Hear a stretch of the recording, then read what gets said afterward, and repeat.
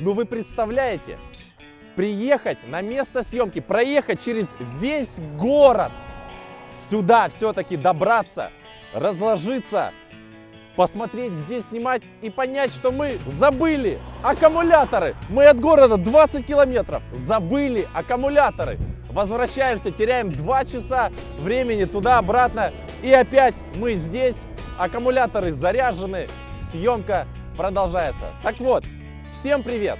Сегодня у нас Nissan, хотел сказать Тиана, а ведь оговорочка по Фрейду. На самом деле у нас Nissan Sentra.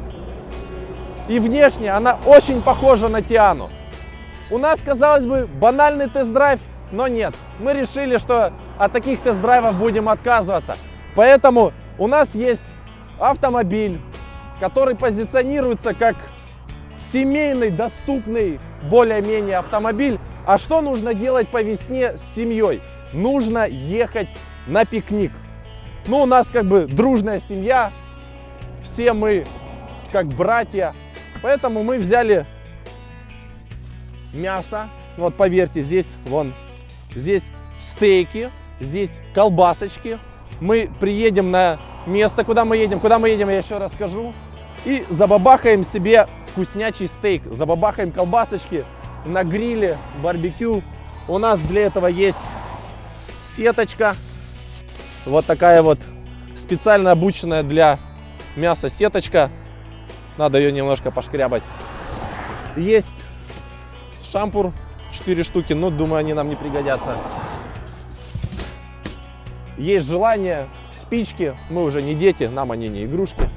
Поэтому будем совмещать приятное с полезным. Ну а заодно и расскажу все, что думаю про эту белую автомобилину. Поехали!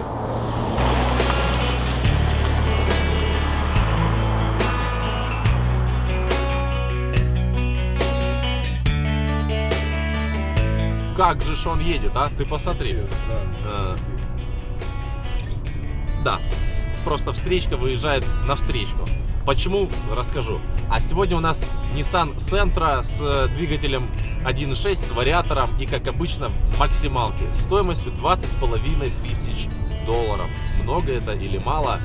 Ну, смотря с чем сравнивать. Хотите, расскажу, почему на наших дорогах очень... Вот мы сейчас выехали на встречку. И сейчас вот возвращаемся. И такое делается постоянно. А знаете почему? Да потому что у нас не дороги, а ямы. То есть ямы с э, встречающимися участками дороги. Реально, мы едем по киевской трассе. Трасса междугороднего, международного значения, так сказать. И она убитая. Я неделю тому назад с Киева в Николаев э, через систему Блаблакар реклама, ну хотя непонятно еще кому реклама. Так вот, вез э, парня, он с Польши приехал.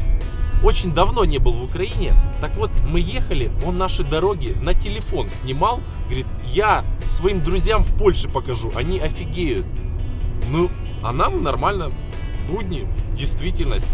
Так вот, на нашей машине э, колеса низкопрофильная резина, 17 диски. Если честно, я боялся ездить по городу. Смотрится шикарно а ездить страшно. По городу, за городом. По городу еще ладно, ты вроде бы как не носишься, но и то ямы частенько встречаются. Не то, что частенько, после зимы их вообще немерено. А по городу ты вроде бы как расслабился, едешь, и тут бах, яма. Не, наши дороги не дадут расслабиться. Никогда. Но вернемся к центре за 20,5 тысяч долларов в максималке. А стартует она с отметки 17,5 тысяч долларов. Что мы имеем за эти деньги? Двигатель 1.6, но он единственный, больше выбрать никакой нельзя. И вариатор CVT. Также есть возможность выбрать автомобиль с ручной коробкой передач. У нас, естественно, CVT, вариатор, так любит погудеть, но об этом я еще расскажу. Также в салоне у нас кожаные сиденья, кожаная плетка руля, много кнопок на том же самом руле. Эх, как опасно. Ну, вообще, салон, если честно, так смотрится по-богатому. Неплохо. Для своих денег мне нравится. И да, салон подкупает своим убранством. Ты, когда садишься внутрь машины, то тебе кажется, что ты в автомобиле выше классом. То же самое касается и внешности. Она очень похожа на старшую Тиана, и я думаю, что сделали это специально. Поэтому человек, который посмотрит на нее снаружи, особенно с э, такими красивыми 17 дисками в белом цвете, смотрится шикарно. Салон отличный. Приходит человек в автосалон уже, посмотрел на автомобиль, посидел в нем, ему нравится. Но следующий этап, это должен автомобиль понравиться уже в динамике. А здесь есть некие заковырки.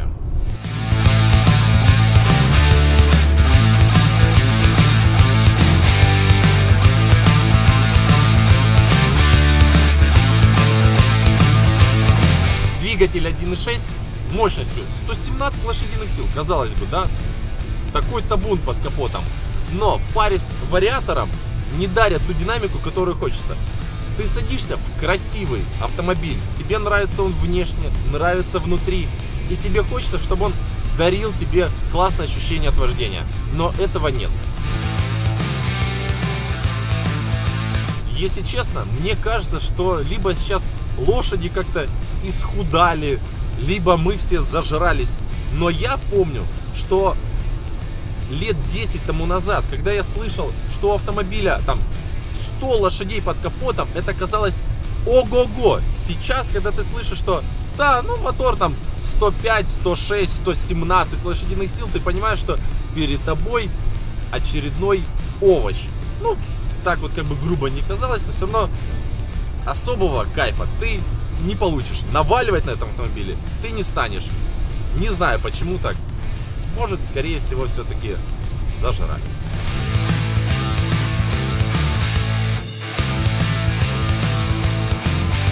Я э, полистал брошюрку, точнее как полистал, в интернете полистал брошюрку про э, новый Центра и там большой абзац уделен новому вариатору CVT, который стал на 10% легче, на там 15% меньше, на 30% экономней.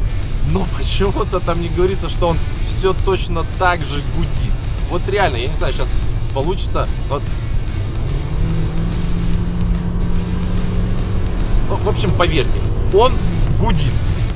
Этого не отнять.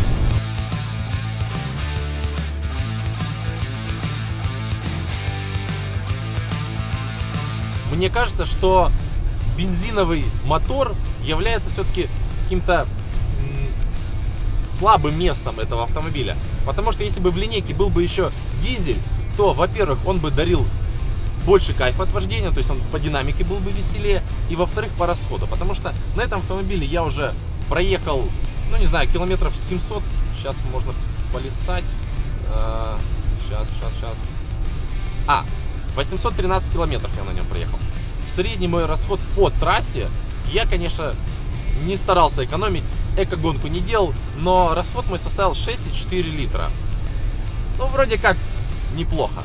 Но по городу это стабильные 10 литров. Даже в моем случае это было где-то 10,7, 10,8. Потому что я, ну, такая манера вождения у меня. Но я не собираюсь менять свою манеру вождения ради экономии.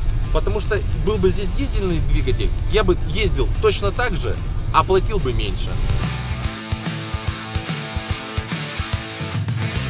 Ну а мясо жарить мы едем за э, сколько?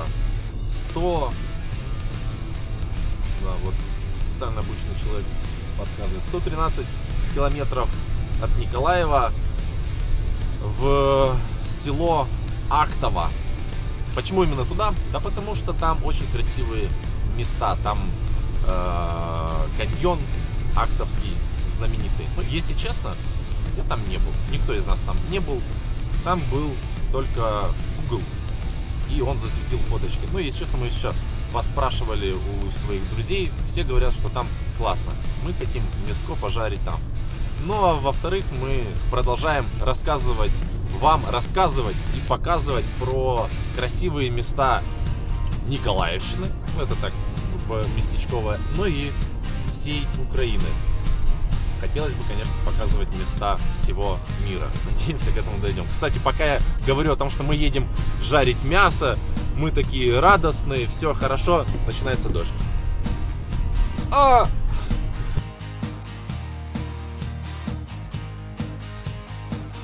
Сделал такое небольшое наблюдение. А, вот мы в последние разы катаемся по различным интересным местам, ездили в пустыню, это в Херсонской области, ездили там на водопады, это там Новый Буг через ужасную дорогу, кстати, которую недавно местные жители перекрыли с требованиями все-таки отремонтировать, а мы успели снять Рено Каптюр там. А, куда мы еще ездили? Там в Мигею и, и в разные другие места. Так вот, чаще всего люди, которые живут где-то там рядом, они там не бывают. У меня друг живет прям недалеко возле этого Актова. Я вчера созваниваюсь с ним, говорю, так и так, вот мы хотим туда поехать, ты же там рядышком живешь, расскажи, как там. Он говорит, Андрей, а я там не был никогда. Человек живет 20 лет. 20 лет и совершенно никуда не... О, дворники сами сработали. Они стоят на автомате. Чудеса.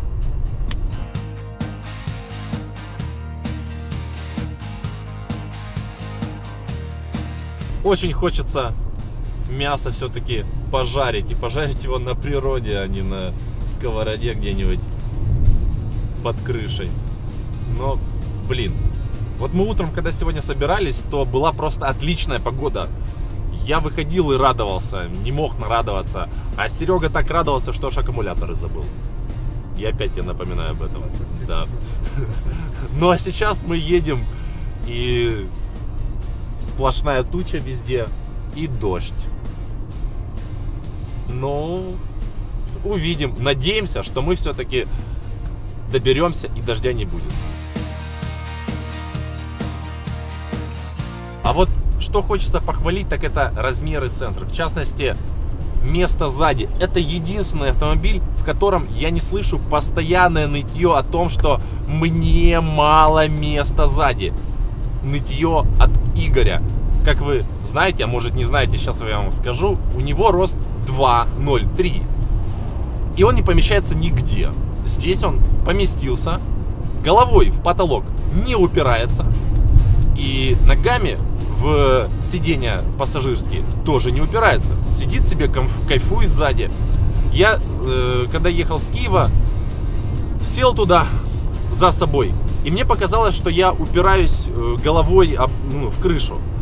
Но это только из-за того, что мое сиденье было далеко э, отодвинуто. Если ближе, то шикарно.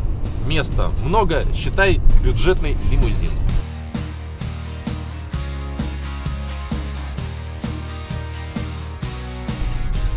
Видите, это яичко. Это брелок без ключевого доступа в автомобиль. Классная штука. Кладешь в карман, подходишь к автомобилю, нажал на кнопочку на двери, открылся. Сел, нажал на кнопочку старт-стоп, завелся двигатель, поехал. Приехал, обратное действие, все отлично, ничего не нужно ни с какими ключами, все хорошо. Но есть один минус. А именно ты просто забываешь о нем через какое-то время. У меня... Ох, елки, нам еще и по грунтовке. Но я вам все-таки расскажу про этот брелок. Ничто меня не собьет. Уже третий раз хочу про него рассказать, но все-таки да расскажу. История правдивая. Так вот, я его на второй день просто забыл в кармане джинс и постирал их, закинул в машинку, еще думаю, что там так тарабанит. Полчаса, полчаса при температуре где-то 60 градусов они телемпались. Да елки-палки, нет, я все равно буду рассказывать. Я сброшу. Все ради... Все, вызов сброшен. Дальше продолжаю рассказывать. Постирался. Я достаю, думаю, боже мой, вот это я, конечно, олень. Постирал брелок. Думаю, все, теперь машина никуда не поедет. Хотя здесь есть вот такая штука, я даже остановлюсь, чтобы показать. Достается ключ, и можно куда-то его всунуть. Честно, даже не знаю куда. Ну, дверь можно открыть, попасть в салон, но завести автомобиль не получится. Никуда ты не поедешь, ничего я не нашел, что можно сделать с этим ключом. Я его разобрал. Для этого мне потребовалось сначала ногти ломал, Потом просто карточка, листочек, посушил, собрал. И это как старая Nokia. Ей пофиг. Работает отлично, все хорошо, ниссановцы молодцы, я одобряю.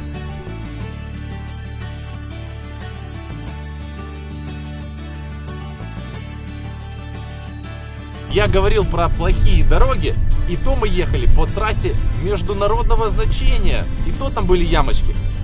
Сейчас мы свернули уже к самому Актово. Осталось нам, навигатор показывает э, 14 километров. И трасса, ну, почему ее называют трассой? Направление убитое. Едешь и просто все время смотришь, чтобы не оставить здесь колеса. Укравтодор здесь явно очень, очень, очень давно не был.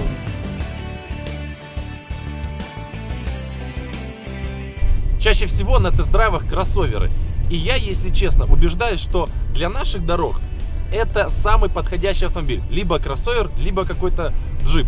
Потому что дороги убитые. И те 15, 13, допустим, 14 сантиметров, которые есть под днищем седана при его длинной базе, их катастрофически не хватает. Я помню, когда ездил на аккорде, я боялся банально через полицейский проезжать, потому что цеплялся днищем. Здесь такой проблемы не возникает. Здесь, по-моему, 155 сантиметров, 155 миллиметров клиренс, но все равно все равно побаиваешься. Побаиваешься, что где-то можешь цепануть бордюр, очередную яму оторвать, э, бампер или еще что-то. Поэтому все-таки лучше кроссовер. И чем выше, тем лучше.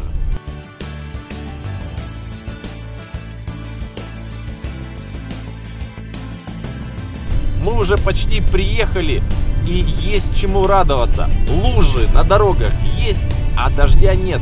Вроде как распогодилось, небо чистое. Мы взяли сухих дров сейчас будем кушать мяско. Ну, правда, еще нужно пожарить, это все нужно сделать. Но верится в лучшее. Осталось немного, осталось чуть-чуть. И дохлые собаки на дорогу.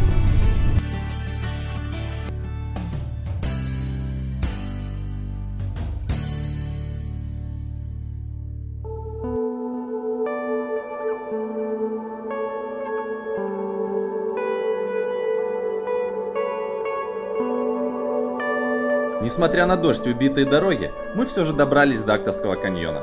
Места оказались действительно красивыми. И если верить Википедии, этот ансамбль скал и гранитных валунов единственный в Европе, который по своим геолого-ландшафтным показателям в миниатюре с огромной точностью во времени образования напоминает знаменитые каньоны Северной Америки. Осталось только поехать в Аризону и сравнить. А тем временем дождь закончился, машину вымыли и настал черед сочного гриля. Как говорится, кушать мясо интересно, вкусно и полезно.